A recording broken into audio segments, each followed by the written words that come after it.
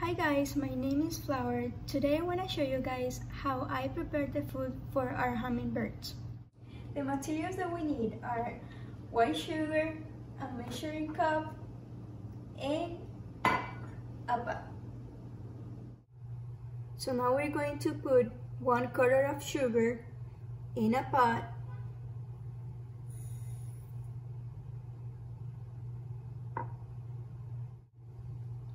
Next, we're going to add one cup of water and bring it to a boil.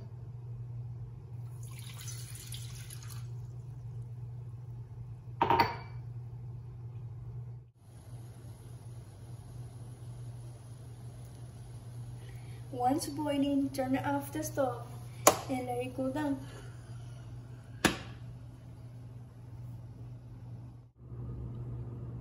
Before putting the food in the feeder, it's important to rinse it out.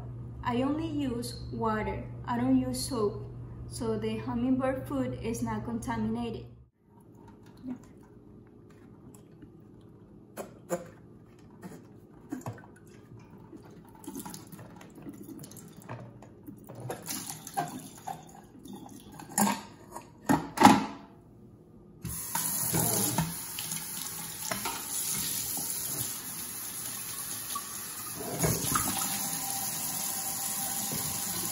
Now